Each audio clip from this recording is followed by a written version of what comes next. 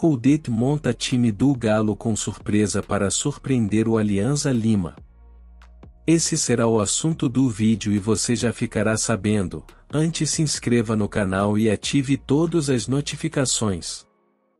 O técnico do Atlético Mineiro, Eduardo Coldet, está planejando uma surpresa em sua escalação para o confronto contra o Alianza Lima pela Libertadores.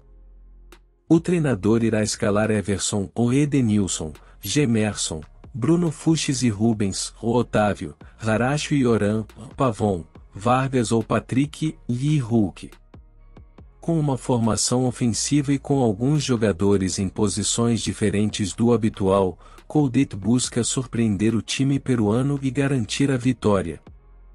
A partida, que acontece nesta quarta-feira, é crucial para as pretensões do Galo na competição continental. Na minha opinião, é o que o Atlético tem de melhor para lançar a campo na busca por sua primeira vitória na competição de 2023. A obrigação é vencer.